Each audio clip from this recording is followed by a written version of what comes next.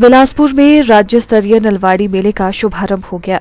हिमाचल प्रदेश के मंडी मंडल की मंडलायुक्त राखिल काहलू ने नलवाड़ी मेले में बतौर मुख्य अतिथि शिरकत की। साथ ही उपायुक्त बिलासपुर आवेद हुसैन सादिक, अतिरिक्त उपायुक्त डॉक्टर निधि पटेल, पुलिस अधीक्षक सहित प्रशासनिक अधिकारियों सहित स्थानीय जनता ने मेले में हिस्सा लिया।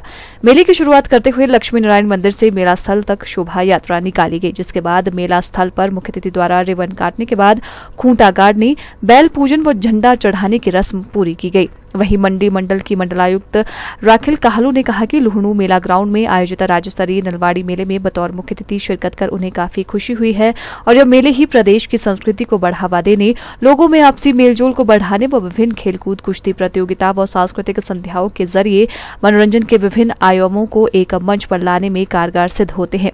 राखिल काहलू ने राज्य स्तरीय नलवाड़ी मेले के आयोजन के लिए जिला प्रशासन को बधाई देते हुए लोगों से सात दिनों तक चलने वाले नलवाड़ी मेले में बढ़ चढ़कर भाग लेने की अपील की है। इस मेले के शुभारंभ में पहुँच के और इसकी सारी विधि विधानों में भाग लेके अपने आप को धन्य तो महसूस कर ही रही हूँ बट सब बिलासपुर वासियों को बहुत बहुत मुबारक हो इस अवसर की और ये मेला अच्छे से निकले। जो लोग जिस उद्देश्य से इस मेले में भाग ले रहे हैं, उनको सबको ईश्वर की कृपा रहे। तो बहुत बहुत धन्यवाद आयोजकों का जो उन्होंने मुझे बुलाया। आई थिंक ये तो शुरू से ही बहुत ही परंपरा, पारंपरिक हमारा सिस्टम है कि मेले जो हैं वो संस्कृति को तो बढ़ावा देते ही हैं, क्योंकि इसमें जो झलक मिलती है, कुछ जो अभी विधि विधान हम कर रहे थे, ये तो संस्कृति को ही आगे बढ़ाने वाला एक हमारा कार्य था। बट इसमें जो व्यापार होता है, जो कल्चरल एक्टिविटीज़ होती हैं, उससे भी जो हमारी पारंपरिक एक्टिविटीज़ हैं, उनको बढ़ावा मिलता है। तो मेले ही हैं, एक बहुत बड़ा जो